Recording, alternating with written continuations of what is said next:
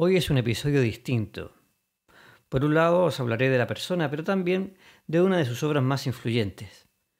Quizás en los próximos capítulos comience a dedicarlos simplemente a obras, pero bueno, ahora vamos a lo que vamos. El personaje de hoy es una de las figuras más enigmáticas y revolucionarias de la literatura y el teatro del siglo XIX. Dejó un legado inmenso a pesar de su corta vida.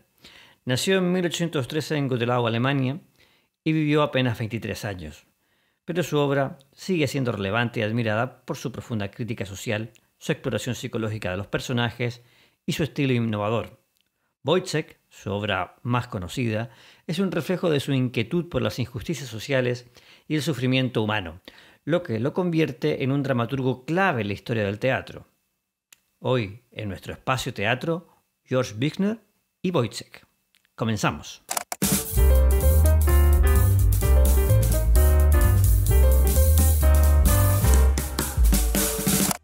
George Büchner nació el 17 de octubre de 1813 en una familia de clase media en el pequeño pueblo de Godelau, cerca de Darmstadt, en el Gran Ducado de Hesse, Alemania.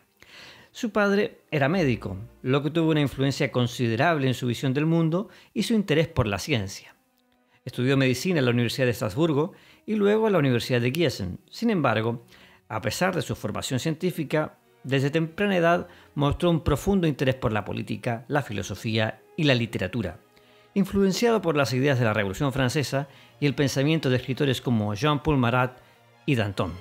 Büchner no solo fue un genio literario, sino también un revolucionario político. En 1834 participó activamente en la creación de un panfleto titulado El mensajero de Hesse, que llamaba a los campesinos a levantarse contra la opresión de las clases dirigentes. Este activismo lo puso en el punto de mira, como no, de las autoridades, y debido a la persecución se vio obligado a huir a Estrasburgo, donde continuó sus estudios y su carrera literaria. Su vida fue breve, como dije anteriormente, falleció a los 23 años en Zúrich el 19 de febrero de 1837 a causa del tifus. Pero a pesar de su corta existencia, dejó una huella indeleble en la historia del teatro y la literatura. Adentrándonos en George Bickner, podríamos decir que fue un hombre de profundas convicciones políticas y sociales. La injusticia y la desigualdad que observaba a su alrededor lo impulsaron a escribir tanto literatura como propaganda política. Su carácter se puede definir como el de un intelectual comprometido, cuya sensibilidad social y conciencia política lo alejaron de los intereses puramente artísticos para enfocarse en una lucha por la emancipación de las clases oprimidas. A menudo descrito como un joven serio, introspectivo y profundamente intelectual, Büchner también mostró una inclinación hacia el existencialismo, una preocupación por la condición humana y su inevitable sufrimiento. Esto pues, lo llevó a escribir con gran intensidad emocional, reflejando así la angustia y el sufrimiento en sus personajes. Su visión del mundo era pesimista, pero no resignada, la urgencia con la que escribía y su capacidad para observar con claridad los aspectos más oscuros de la naturaleza humana lo distinguen de sus contemporáneos. Las obras de Wigner son innovadoras no solo por su contenido político y social, sino también por su estilo. Se anticipó a movimientos teatrales que surgieron mucho después de su muerte, como el naturalismo y el expresionismo. Su enfoque en la psicología de los personajes, su representación fragmentada en la realidad y su crítica a la autoridad y las estructuras sociales lo convirtieron en un pionero. Una de las características más destacadas de su obra es su capacidad para explorar el sufrimiento humano y la alineación. Sus personajes a menudo son individuos atrapados en situaciones extremas en las que las fuerzas sociales y políticas los someten a un destino trágico también utiliza un lenguaje potente y directo que refleja tanto la brutalidad como la belleza de la vida. La estructura fragmentaria es otro elemento clave en su estilo. En lugar de seguir la lógica aristotélica tradicional del teatro con una trama clara y lineal, Büchner pues, crea escenas cortas, a menudo desconectadas, que permiten al espectador o lector tener una visión multifacética de los personajes y sus situaciones. Esta técnica es especialmente evidente en Wojciech, que ha sido considerado un precursor del teatro moderno. A pesar de su corta vida, Wigner dejó un número impresionante de obras. Además de Wojciech, eh, algunas de sus obras que más destacan son La muerte de Danton, que, estuvo escrita, mm, que fue escrita en 1835.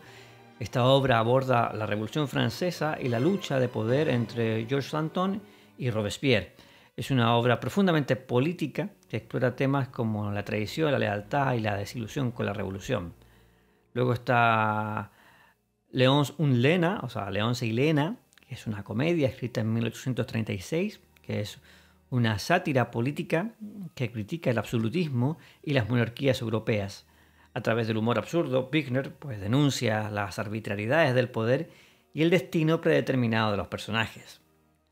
Luego está Lenz también, que es una narración corta, escrita en 1835 y esta está basada en la vida del poeta Michel Reinaud Lenz, que es una obra que mezcla la ficción con la biografía y que profundiza en los temas de, de la locura, la soledad y la alienación. Cada una de estas obras tiene en común una preocupación por las cuestiones políticas y sociales, así como una visión pesimista del destino humano, lo que lo hace únicas dentro del canon literario del siglo XIX. Wojciech es la obra más conocida de Josh Wigner. Es una tragedia social que destaca por su estructura fragmentaria y su innovadora aproximación a la psicología humana. En 1836 eh, se escribió, pero fue publicada en 1879.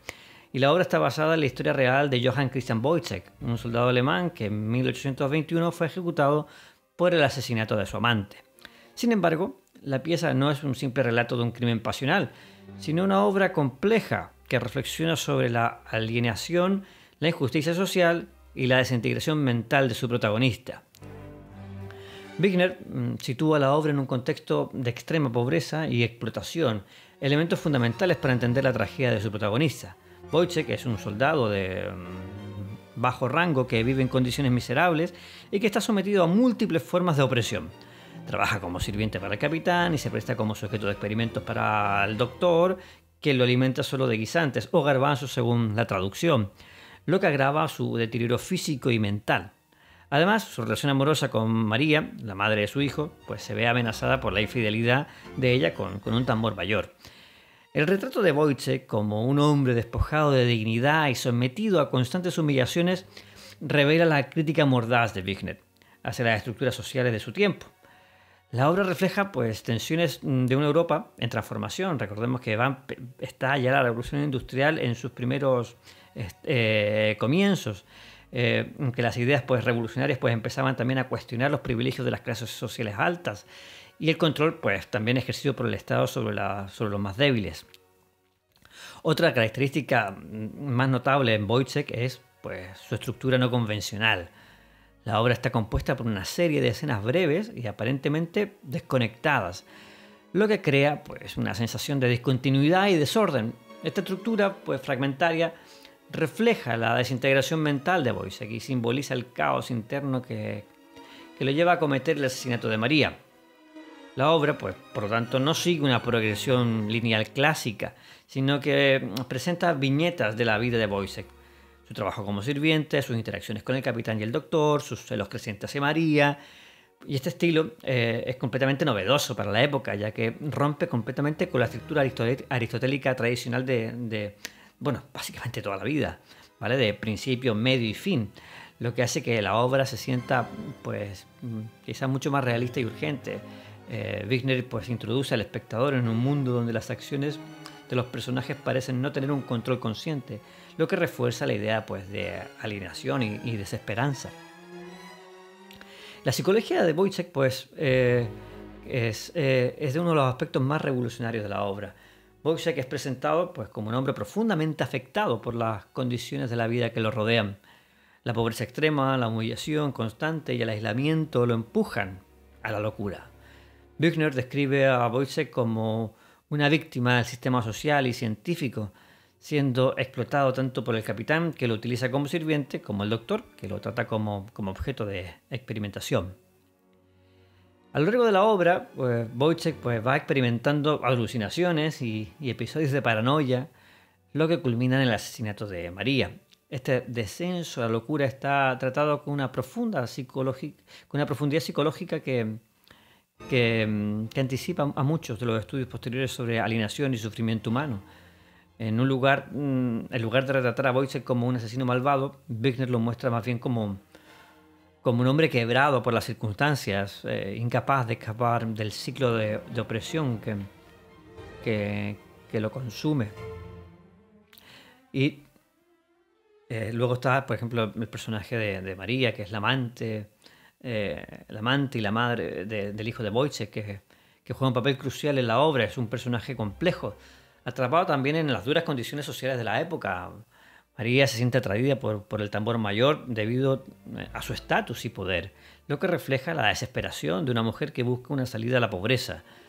Su relación con Wojciech es de dependencia económica, pero no emocional, lo que genera en él una sensación de, abandono y, celos. La muerte de María a manos de Wojciech es el clímax de la obra, pero Wickler no lo presenta como una simple víctima. Al igual que Wojciech, ella es un producto de su entorno incapaz de escapar de la miseria que, le rodea. En ese sentido, el destino de ambos personajes está sellado no solo por sus acusaciones individuales, sino también por el sistema social que los oprime.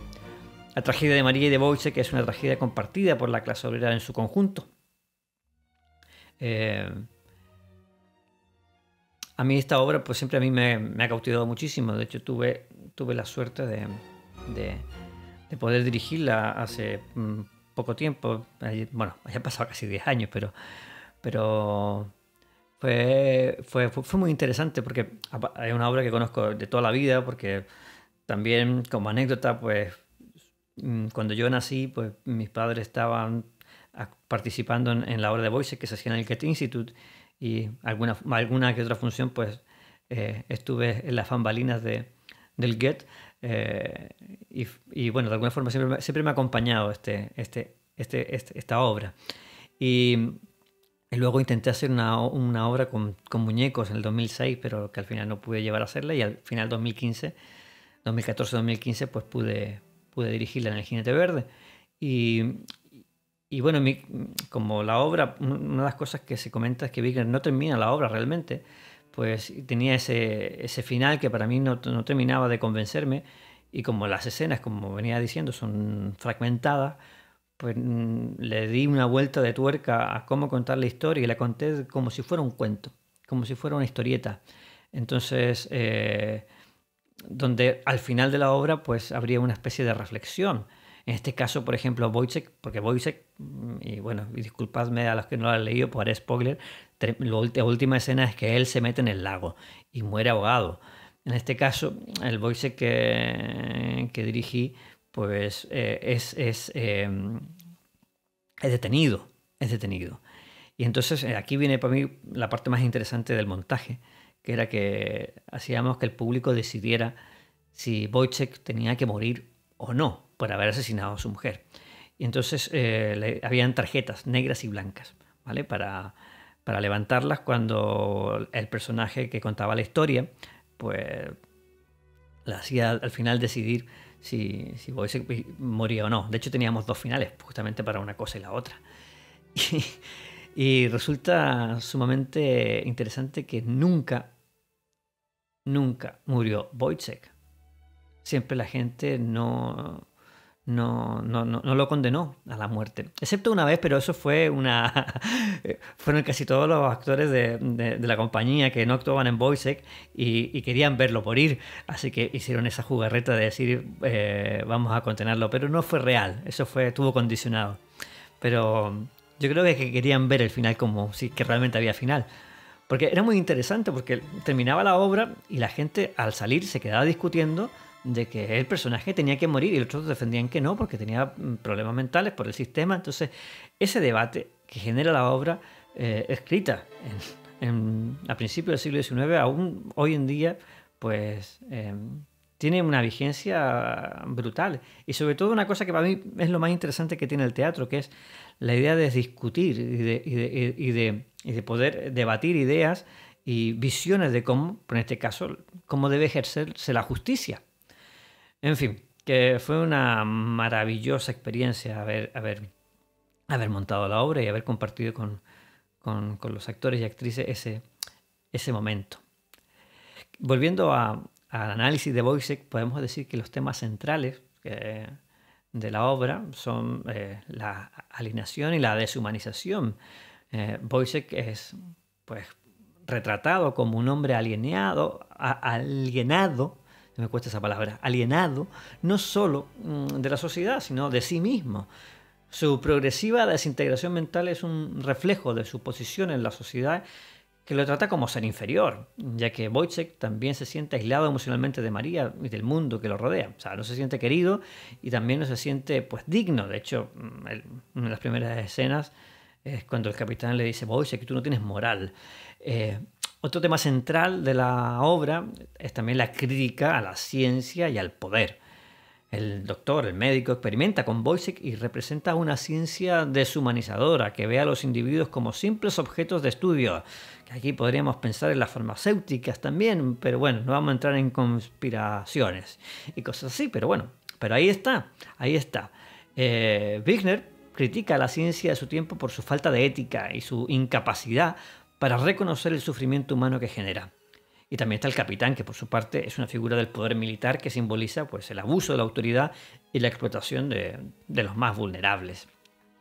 Otra, otro tema central en la obra pues, es también la locura y la pobreza. La locura de Boyce, que está estrechamente relacionada con, la pobreza y su falta de control sobre su propia vida. Está manipulado por, por, por todas estas instituciones. Wigner muestra cómo, las circunstancias sociales pueden llevar a una persona al borde del colapso. No sé si eso a vosotros resuena, que hoy en día también podemos verlo. O sea, Wojciech es, digamos que mm, representa a, una clase media baja eh, que lucha por, sobrevivir, que es un poco lo que eh, diariamente muchos de lo vemos a diario, ¿no? O sea, muchos de nosotros trabaja, trabajamos, trabajamos para, para poder eh, mantenernos a flote. Así que digamos que es una obra profundamente moderna en su tratamiento también de, la salud mental. Eh, es una obra que a mí, a mí me, encanta, y no sé si se, nota. bueno, es que por eso también es considerada una obra pionera, porque ha influido en, diversos movimientos teatrales posteriores, porque la pieza ha sido vista como precursora del, tanto del naturalismo, del expresionismo en el teatro, autores como Strindberg o Wedekind vieron en Wigner un antecesor en su búsqueda de un teatro que explora los rincones más oscuros de la psicología humana y de las realidades sociales. El uso de la fragmentación en Boisek también puede una influencia clave en dramaturgos del siglo XX como Bertolt Brecht, que utiliza la técnica de la fragmentación para su teatro épico, para despojar al teatro de esa estructura convencional y fomentar, por tanto, la reflexión y la crítica del espectador. Entonces, es una obra brutal que, deja este autor. O sea, Wigner eh, deja un legado que es innegable en el teatro. Sus obras continúan siendo representadas en todo el mundo y su enfoque innovador pues, ha influido en generaciones de dramaturgos. Su capacidad para capturar el sufrimiento humano y su crítica mordaz a las estructuras de poder han hecho de él un referente en la historia del teatro. Y hasta aquí por hoy. Espero que lo hayas disfrutado tanto como yo. Hasta la próxima. Si te gustó este capítulo, suscríbete a Espacio Teatro y compártelo en tus redes sociales o mejor aún, con tus amigos. Y así más gente estaremos habitando en este espacio teatro.